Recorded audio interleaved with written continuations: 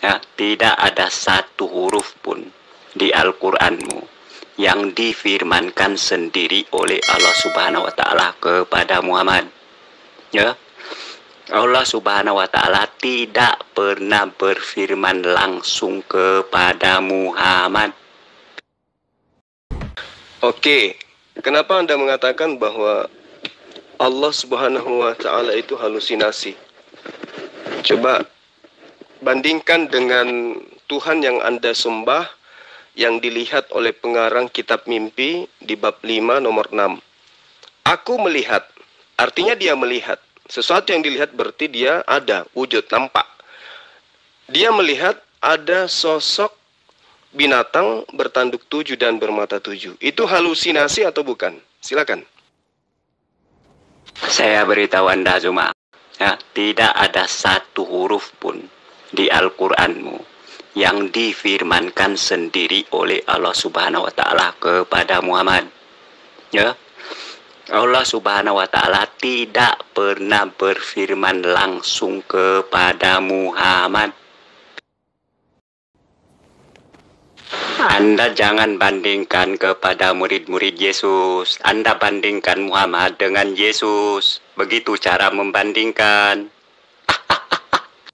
Kenapa bisa? Yesus itu kan Tuhanmu.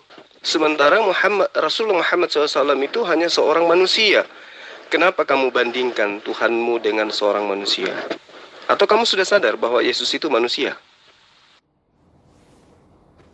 Kamu menyembah Allah Subhanahu wa taala yang jelas-jelas Muhammad pun tidak pernah bercakap-cakap dengan Allah Subhanahu wa taalamu. Saudara menyembah Yesus kan? Nah, apakah saudara bisa membuktikan bahwa Yesus itu pernah bercakap-cakap dengan Lukas, dengan Paulus? Jawab. Junjungan kami adalah Yesus, junjunganmu adalah Muhammad. Ya, Kristen itu jelas-jelas mengatakan bahwa Muhammad hanyalah nabi palsu. Ya, Yesus itu junjungan atau Tuhanmu? Coba yang jelas, yang jelas. Silakan Anda selesaikan dulu PR-mu Zuma. Ya, Muhammad saja tidak pernah mengenal Allah Subhanahu wa taalamu. Bagaimana kamu menyembah sosok halusinasi Muhammad? Ya? Lah, Yesus itu tidak pernah mengenal Lukas, tidak pernah me- mengenal Paulus. Itu dulu. Saya menjabarkan tentang Allah. Ya, kamu pun harus menjabarkan tentang apa yang saya permasalahkan. Allah Subhanahu wa taala diterangkan di dalam Al-Qur'an, mata manusia tidak mampu melihatnya. Keluaran 33 nomor 20, mata manusia tidak bisa melihatnya.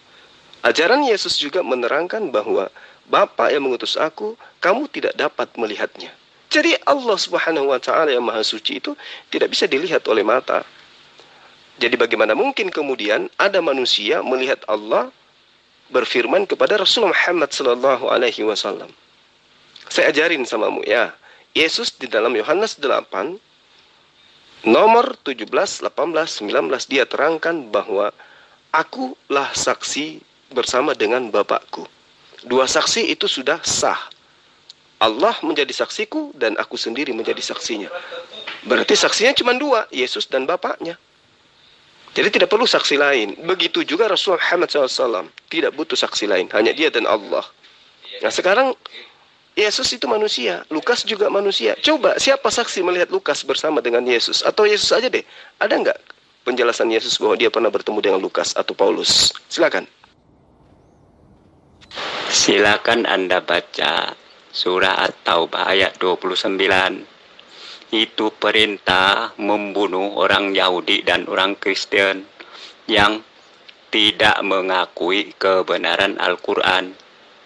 Ataupun jikalau mereka tidak mau dibunuh, dibunuh, disuruh membayar cukai atau jizyah, ya, dalam keadaan ketakutan, ya. Sudah ya, aku ada kerja ya, aku ada kerjaan lain ya.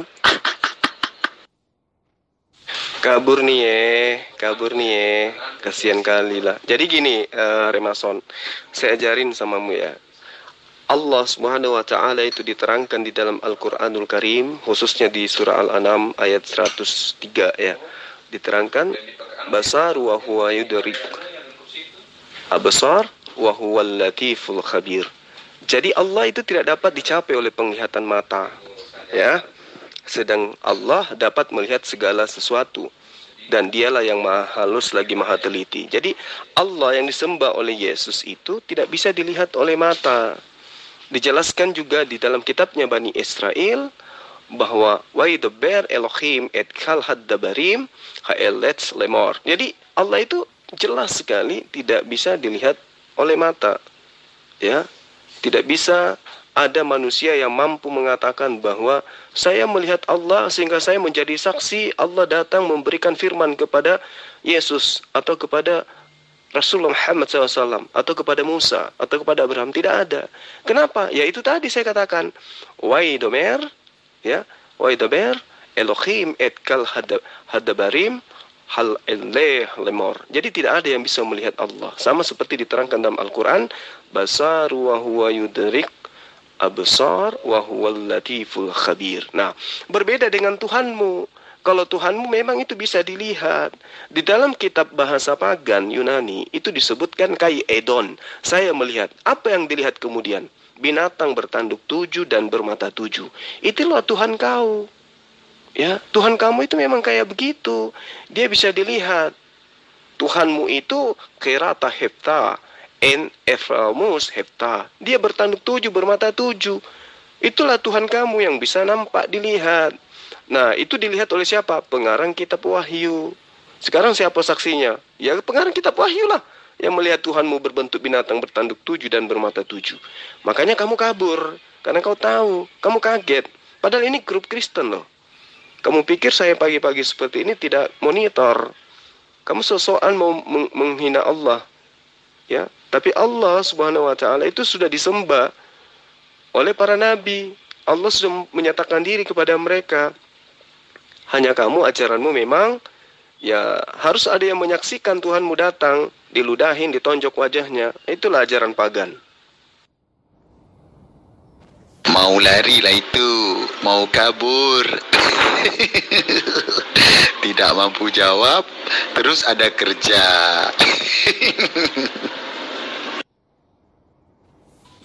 Oi, pendeta kabur, pendeta kabur, pendeta kabur. Dia mau pergi membohongi orang banyak ya, mengatakan Tuhan menjelma menjadi manusia.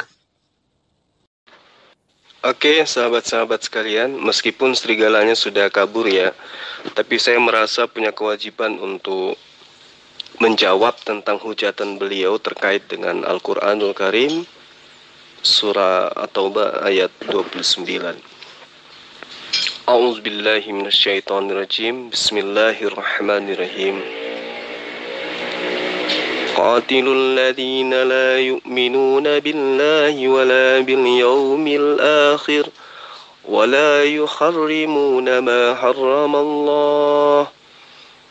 حرم الله ورسوله ولا يدينون دين الحق من الذين أوتوا الكتاب حتى يعظوا خزيا عن يد وهم صاغرون حتى يعطوا الجزية عن يد وهم صاغرون Jadi sahabat-sahabat uh, sekalian uh, terkhusus kepada teman-teman yang baru juga ikut di dunia debat ya.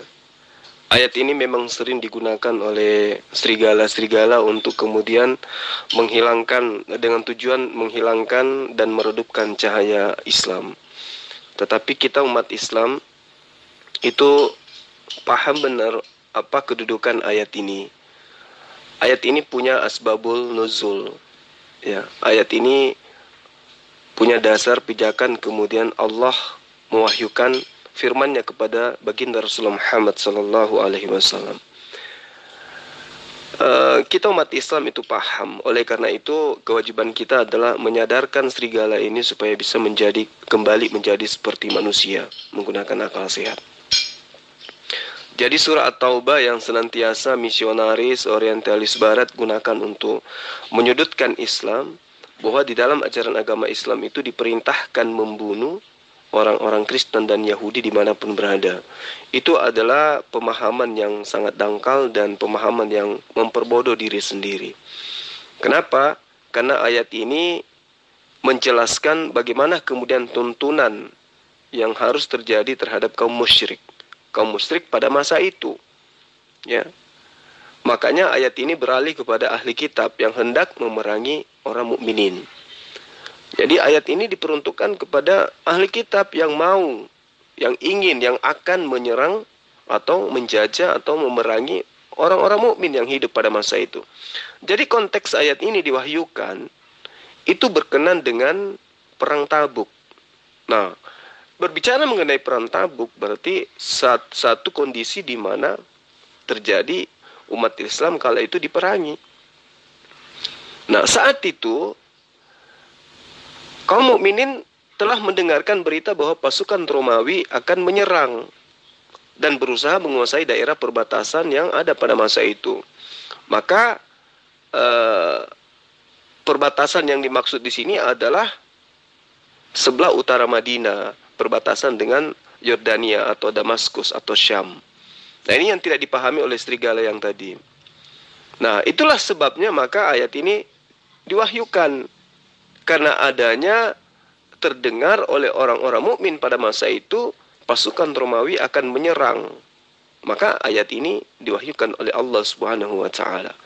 Turunnya ayat ini sebagai perintah untuk memerangi mereka yang memerangi orang-orang mukminin kala itu.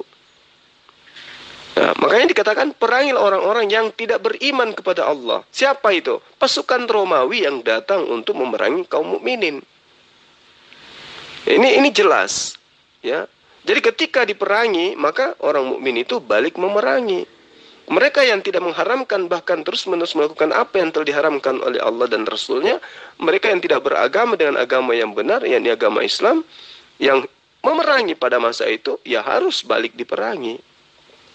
Artinya bahwa perintah ini datang kepada Rasul Muhammad SAW untuk supaya Rasul Muhammad SAW itu mempersiapkan diri untuk melawan penyerangan dari orang-orang kafir yaitu pasukan Romawi. Nah, ini yang perlu di, dipahamkan kepada orang-orang yang nanti bisa terpengaruh dengan uh, ajakan si serigala tadi yang mengajarkan terjemahan tanpa dibarengi dengan ilmu. Nah, Orang-orang yang yang dikatakan sebagai pasukan Romawi yang akan datang menyerang umat Islam yang ada di perbatasan Madinah waktu itu ya. Mereka adalah orang-orang yang telah diberikan kitab.